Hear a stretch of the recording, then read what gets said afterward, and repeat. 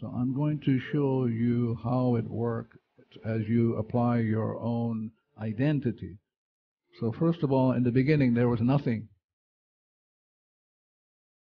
So the world was no was not ever here at some point in uh, at the beginning. So for whatever reason, and I don't know the reason, the light showed up, called the I am. So this this part of you, and it's you, it's in you already. This part of you is the is the creative part of your being, the creative part. This is the creative part. This is the creator. Okay? This this part of you also is that part of you which is provides the inspiration of the perfect information for existence. So I'm just kind of pointing out to you who you are. And then this part of you is a part that can erase the information, any memories replaying.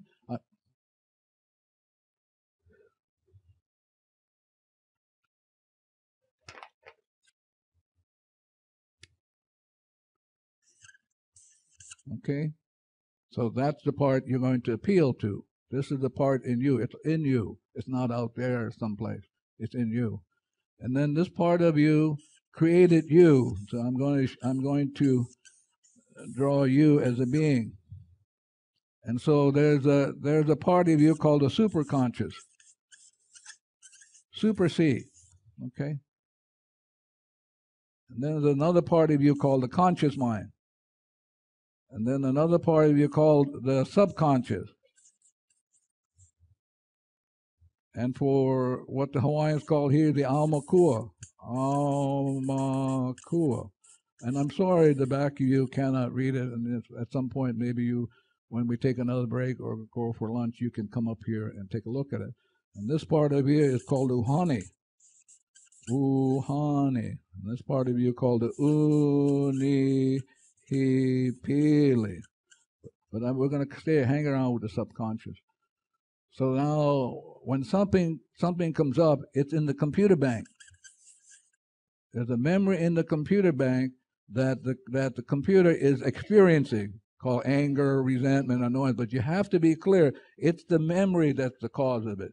If you have a heart high, hypertension, that's not the problem. You got to come back to the memory, which is the cause of that. So you always want to come back to whatever is going on in you, and it's in the subconscious. Now, this subconscious in you feels unloved, uncared for, and unappreciated. So, I'm going to teach you how to form a, the relationship with this part of you called the inner child so that you can work with it. Because if you can get this part of you to help you with the cleaning, um, you'll you'll be able to move through the data much faster. But but this is the part that we ignore. Yeah. Now, this part of us called the conscious mind has choice. The choice is to be or not to be data free. That's the choice.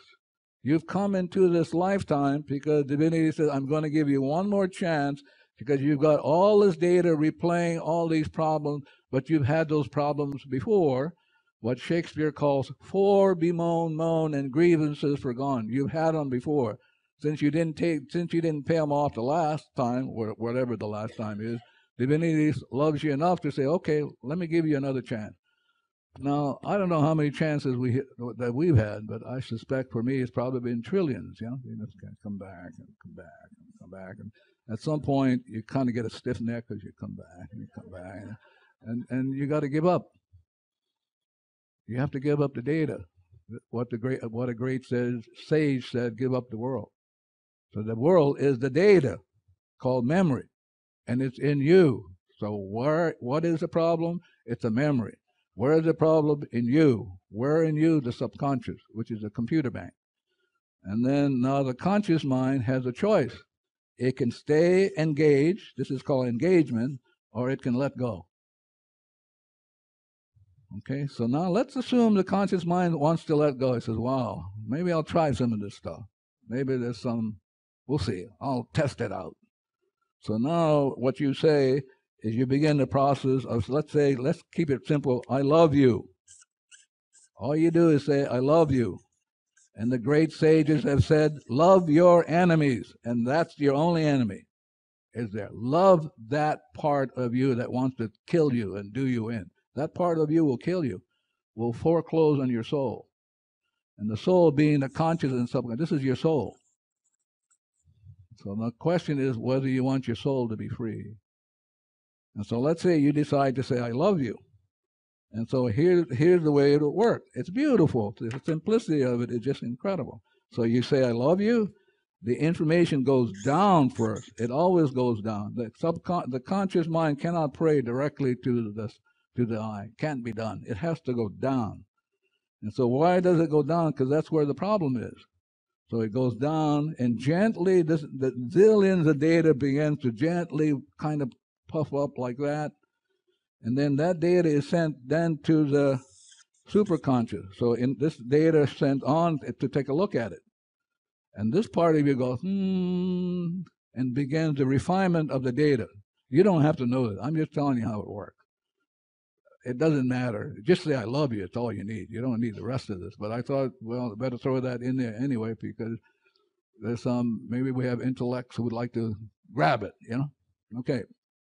So it goes up there, and then the great sages said, "Knock." Hello, I got a problem. Um, I noticed that uh, stuff is in me is going, and I have high blood pressure, diabetes, back problems. So you're you're mentioning your experience, but this is the data that you want to get at. So now this part of you said, okay, oh, you're going to be 100% responsible. Wow. Let's see what we can do. So this is called this is called mana. The mana is going to come down. The mana. This is the mana that's going to erase. So the mana comes down through the superconscious. That's where it works comes down to the conscious mind, and then comes down into this and begins to dismantle this. And this is the way it looks. So the mana comes down, takes the memory, and purifies the memory. That's the first step. It will purify it. This is the divinity doing its work. I'm transforming, I'm transmuting the data called memory.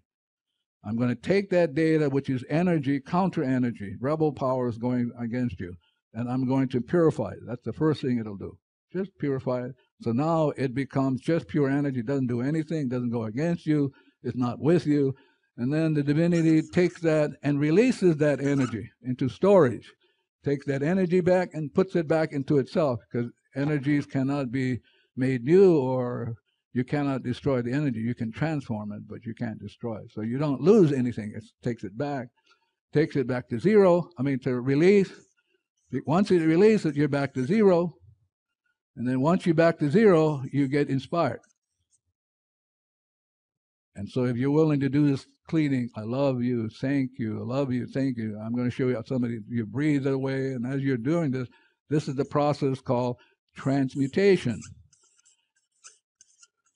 So you're asking this part of you to take that data and to transmute it to nothing and then to take that nothing and bring to that nothing that inspiration.